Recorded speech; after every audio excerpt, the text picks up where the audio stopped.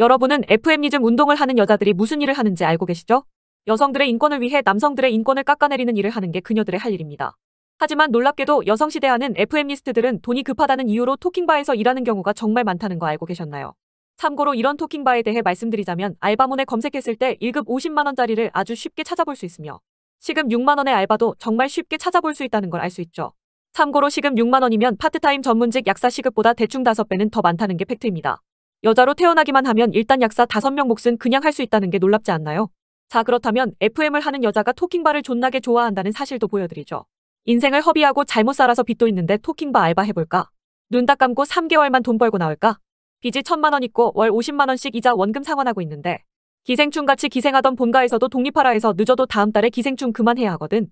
고졸이고 나이 28살에 모은 돈 하나 없이 그지 깽깽이인데 살아갈 자신이 없어 솔직히. 인생 밑바닥 어차피 음식물 쓰레기 같은 인생인데 토킹바 알바하면 어때서 라는 마음이 있어. 돈 버는 게 중요해 진짜 밑바닥 인생 한번 토킹바 해볼까?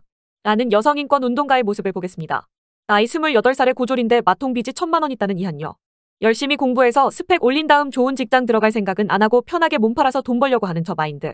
어째선지 몰라도 저 여자의 미래는 판교에서 열심히 코딩하는 남자 하나 잡아서 설거지 시킬 것 같다는 생각이 들지 않으신가요?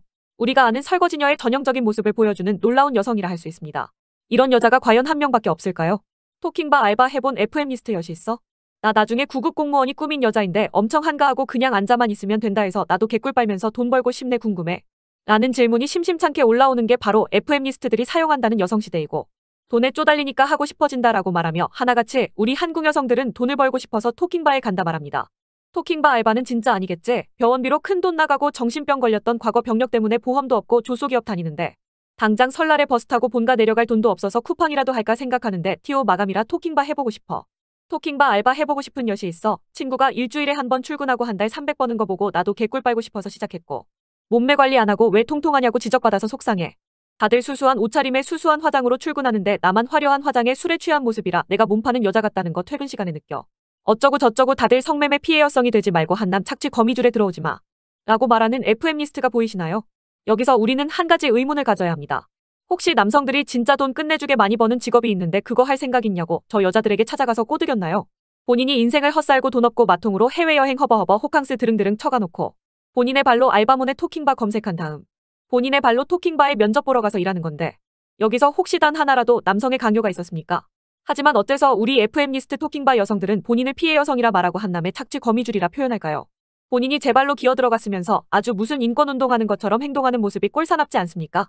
본인이 돈 없고 능력 없고 뇌 없어서 시작한 일인데 남자 혐오만 더 늘어서 왔다. 라고 말하는 우리 여성의 모습. 고생했어, 잘 탈출했어, 여시야라고 말하는데 탈출이라 표현하는 게 참 웃기지 않나요? 누가 보면 어디 감금해놓는 줄 알 것 같지 않습니까? 참 요즘 한국 여성들 돈 편하게 벌고 편하게 피해자 되는 것 같습니다. 부디 여러분이 만나는 여자친구 아내가 저딴 여자가 아니길 바라며 한심한 내용 여기서 마치도록 하겠습니다. 여러분의 구독과 좋아요는 은희가 이런 더러운 내용 널리 알리는데 커다란 도움이 된답니다. 오늘의 한 줄 요약. 고졸 28살 마통 천만 원 있는 여자는 상향혼을 원하고 있다는 사실.